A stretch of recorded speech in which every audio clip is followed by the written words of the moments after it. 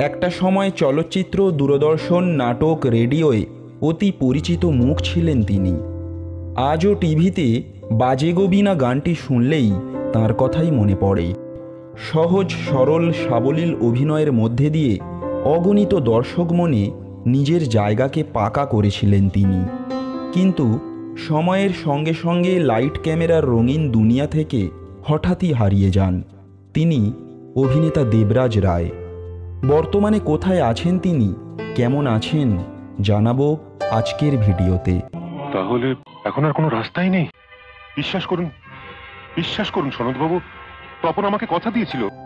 উনিশশো চুয়ান্নর নয়ই ডিসেম্বর পশ্চিমবঙ্গের কলকাতায় জন্মগ্রহণ করেন অভিনেতা দেবরাজ রায় বাবা তরুণ রায় ও মা দীপান্বিতা রায়। দুজনেই ছিলেন থিয়েটারের পরিচিত মুখ। ভবানীপুরের পদ্মপুকুর রোডের বাড়িতেই তরুণবাবু গড়ে তুলেছিলেন নিজেদের গ্রুপ থিয়েটার সেন্টার। ছোট থেকেই দেবরাজবাবুর স্বপ্ন ছিল বড় অভিনেতা হবেন। মাত্র ষোলো বছর বয়সে বিশ্ববরেণ্য পরিচালক সত্যজিৎ রায়ের ছবি প্রতিদ্বন্দ্বিতে প্রথম অভিনয় করেন দেবরাজ রায়। অভিনয় করেছেন মৃণাল সেনের ছবি কলকাতা একাত্তরেও। উনিশশো তিয়াত্তরে মুক্তিপ্রাপ্ত দীনেন গুপ্তের বিখ্যাত ছবি মর্জিনা আবদুল্লাহতে তাঁর কণ্ঠে বাজেগোবিনা গানটি আজও মনকে ব্যাকুল করে তোলে। প্রেমিকা মিঠু মুখার্জির উদ্দেশ্যে এই গানটি গিয়েছিলেন হোসেন ওরফে দেবরাজ রায়। বাজে গোবিনা সুরে সুরে বাঁধা আছে এরপর বেশ কয়েকটি ছবিতে অভিনয়ও করেন তিনি।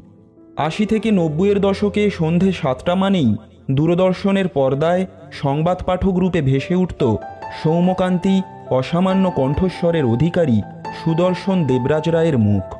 কেবল চলচ্চিত্রই নয়, বাবার পরিচালনায় রজনীগন্ধা, ত্রিশূল এবং নিজের পরিচালনায় বিষবৃক্ষ, হোসেন শাহ, ভাসান প্রভৃতি নাটকে অভিনয় করেছেন দেবরাজ বাবু।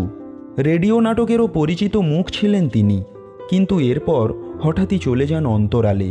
অভিনয়প্রিয় মানুষটি কেনই বা ছেড়ে দিলেন অভিনয়?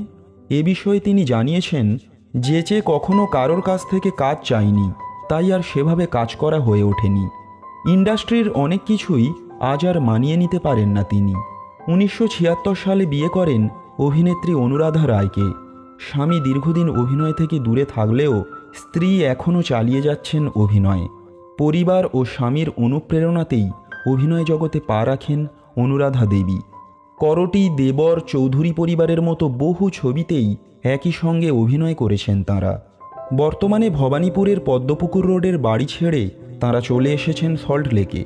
স্ত্রী অভিনয় করলেও আজ সম্পূর্ণ অবসরে দিন যাপন করছেন অভিনেতা দেবরাজ রায়। বই পড়া, টিভি দেখার মধ্যে দিয়েই জীবনের বাকি দিনগুলি কাটিয়ে দিতে চান তিনি। আপনি ভালো থাকুন দেবরাজবাবু জ্ঞানচক্ষু চ্যানেলের মধ্যে দিয়ে আপনার সুস্থ জীবন কামনা করি। ধন্যবাদ।